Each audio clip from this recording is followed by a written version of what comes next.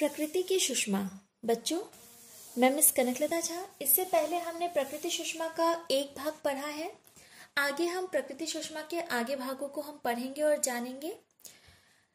ईश्वर ने सूर्य, चंद्रमा, तारे, नदियाँ, झरने, पर्वत आदि से प्रकृति को सजाया है। ये प्रकृति में तरह तरह के रंग भरते हैं। पक्षियों का कलरव मधुर लगता है। ये प्रकृति तत्व संसार को सुंदर रूप देते हैं। इस कविता में प्रकृति के इन तत्वों की चर्चा की गई है। इसका जो पहला भाग था वो है, आसमान पर चमका सूरज दूर हुआ अंधियारा, चंदा ने आकर नभ को दिया रूप एक प्यारा, झिलमिल झिलमिल तारे आए चमकीले चमकीले, आसमान पर छाए देखो कितने नीले पीले तो हमने देखा कि कैसे सूरज का आना अंधियारे को दूर करता है, कैसे चंदा ने इस पूरे आकाश को एक नया रूप दे दिया है, कैसे झिलमिलाहट होती है, कैसे तारे चमकते हैं, ये सब कुछ हमने देखा। आइए अब आगे प्रकृति के कुछ और रूपों से अवगत होते हैं। नदियाँ बहती, झरते झरने झरते, रंग बिरंगे पुष्प खिलते, विविध तरह के फल फूलों से प्रकृति के सुंदर रंग झलकते।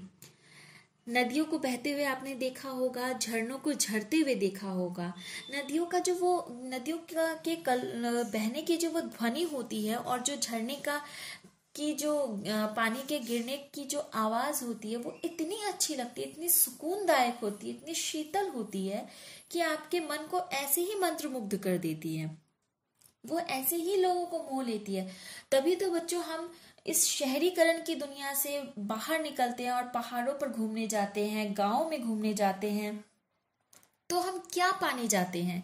यहाँ सब कुछ है, हमारे ऐशो आराम का सब कुछ हमारे पास उपलब्ध है तो भी हम इन जगहों पर जाते हैं घूमने के लिए, इन्हें देखने के लिए जाते हैं तो हम किस लिए जाते हैं? उसी सुकून की तलाश में जाते हैं हम। उसी शांति की तलाश में जाते हैं, जो शांति हमें इस शहरीकरण की दुनिया में तो नहीं मिल सकती। रंग बिरंगे पुष्प है। खिलते हम जब ऐसी जगहों पर जाते हैं तो हम रंग बिरंगे तरह तरह के पुष्प देखने को हमें मिलता है। बहुत सुंदर सुंदर पुष्प हम देखते हैं। झिलमिल झिलमिल। बहुत सारी झिलमिलाहट देखने को हमें मिलती है। सब प्रकृति में चारों तरफ़ फैला हुआ है। विविध तरह के फल फूलों से प्रकृति के सुंदर रूप झलकते। और चारों तरफ़ सुंदर सुंदर फल, फूल जब हम देखते हैं तो ऐसा लगता है कि इन्हीं के द्वारा जो है हमारी प्रकृति जो है इतनी खूबसूरत, इतनी रंग बिरंगी इतनी सुंदर दिखती है। चारों ओर लताई छाई वृक्ष झूमने वाले ऊँचे ऊँचे पर्वत है आकाश चूमने वाले। चारों तरफ़ जो है वृक्ष होते हैं लताई होती है, हवाओं के आने से वो इधर उधर झूमते हैं, बिखरते हैं, सुंदर हवा बहती है।